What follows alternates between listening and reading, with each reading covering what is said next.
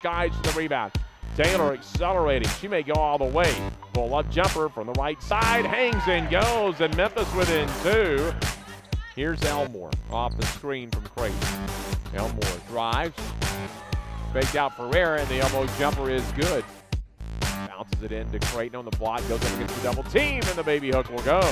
Barnes over to the far side. Barnes with a double team. Floats it straight away. Rattles it in to the free throw line. Rolls it in. Creighton turns against Ferreira and hits off the glass. 78-56 Barnes goes into double team. Somehow got that to go up and rattle in.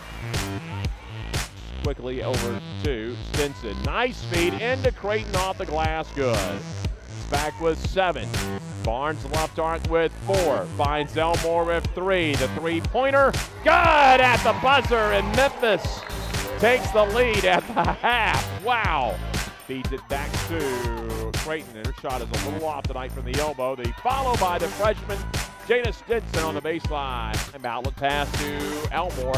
Down to seven. Elmore looking for the screen. Instead, she'll drive. Pass to Creighton. Head fakes. Throws up to three. And it's good. Shot clock for Memphis. 8.35 to go in the half.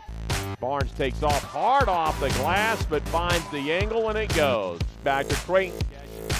Three, there it is. High pass. Here's Barnes. Catch and shoot three on line, rolls it in. Off the Porter from the left elbow. On the floor, drives, lays it up. Stinson, baseline, passes to Creighton. Open look from the free throw line, and Memphis whipped their first lead. 18 17 to the left wing. Dribbles to the right elbow. Tucks it, drives it, hits it, and she's fouled on the layup.